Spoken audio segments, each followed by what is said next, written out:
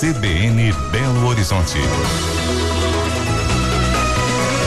Agora são 11 horas e 48 minutos. A polícia admite que os índices de violência em regiões do estado até então tranquilas são altos, mas nega a evidente crise entre polícia militar e polícia civil. Daniel Leite. Pois não, Marcelo. O governador Antônio Anastasia, que participou dessa troca de comando da Polícia Militar agora pela manhã aqui no bairro Prado, na capital, ele ficou bastante incomodado e até um pouco irritado quando a reportagem da CBN perguntou a ele por que, em seu discurso, ele fez questão de ressaltar que há competências entre os governos, entre as instituições do governo e, ao mesmo tempo, há segundo ele, naturalmente um conflito de competências. De acordo com o governador, seria comum esse conflito de competências porque a esfera brasileira, termo usado pelo governador, é complexa. Ele citou possíveis conflitos em outras áreas de governo, um reflexo de que incomoda sim o governador Antônio Anastasia os talvez, segundo ele, boatos de que há uma crise entre a Polícia Militar e a Polícia Civil. Foi esse o questionamento que a reportagem da CBN fez ao governador agora pela manhã. Competências institucionais, o que é capacidade, competência, missão, o que é da outra? A Constituição Federal e a legislação a rola, que cabe a um e cabe a outro, e trabalho integrado. São instituições, cada qual tem sua competência. Basta ler a Constituição, diz lá. A uma é função preventiva, a outra é função de apuração e o trabalho integrado que nós colocamos na Constituição Mineira em 89. Eu quero dizer, mais uma vez, que é uma substituição, é uma substituição é, natural do grupo médico, Coronel Santana, Coronel Renato fez um trabalho, completou seu tempo e vai ter também um minuto.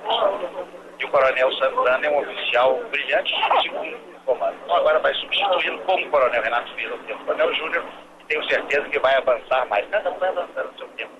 Essa crise é um boato, governador? Mas eu ouvi o meu discurso. Pois é, Marcelo, ele não quis responder, disse apenas isso, e como eu informei no início, ele, em seu discurso, falou de competências dentro da esfera de governo. O novo comandante da Polícia Militar, Coronel Márcio Martins Santana, também negou que haja uma crise entre a Polícia Militar e a Polícia Civil e falou da preocupação com os índices de violência no sul de Minas. Ah, não queria que o desgaste de, de, que gere animosidade, que gere incompreensão, que seja algo que, que cause atrito. Ah, há uma, uma busca de interesses institucionais que às vezes suscitam algum conflito institucional por alguma competência, por algum avanço que determinadas instituições querem. O modelo de segurança na, em Minas Gerais é um modelo que prestigia a integração e que as, as instituições elas caminham lado a lado. Então esse, esse possível atrito, esse possível conflito de, de anseios isso é natural, isso é compreensível e, com certeza, nós vamos é, saber lidar com isso, né, dentro de um senso ético, dentro de uma tolerância e fazer da negociação, da conversa, de tratativas inteligentes, a solução para os problemas.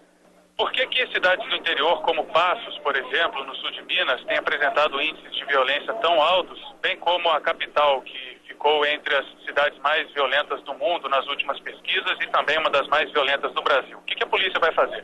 Olha, o crime é um fenômeno o crime é um fenômeno extremamente complexo, né? Os estudiosos analisam, avaliam, a polícia analisa, a polícia hoje ela, ela é calcada em princípios científicos, né?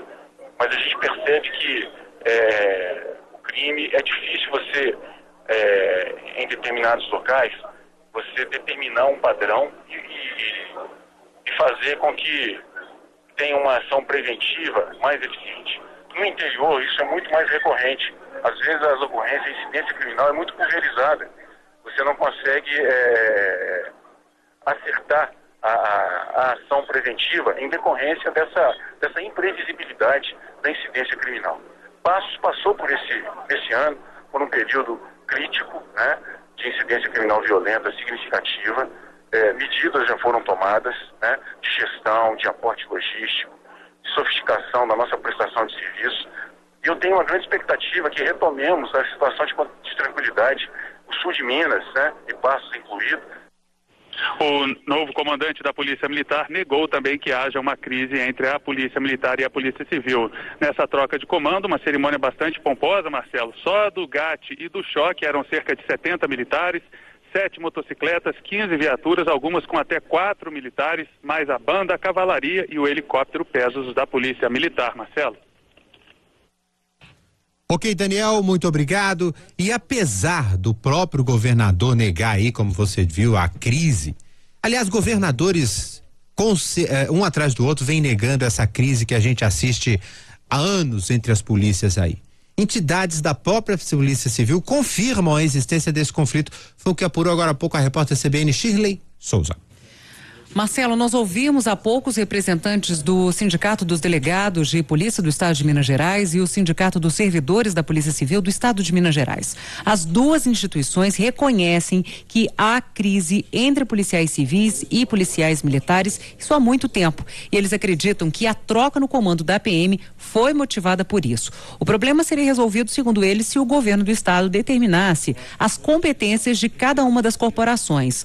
Os dois sindicatos estão dispostos a se aproximarem do novo comandante da Polícia Militar e tentar dessa forma uma maior integração. Marcelo.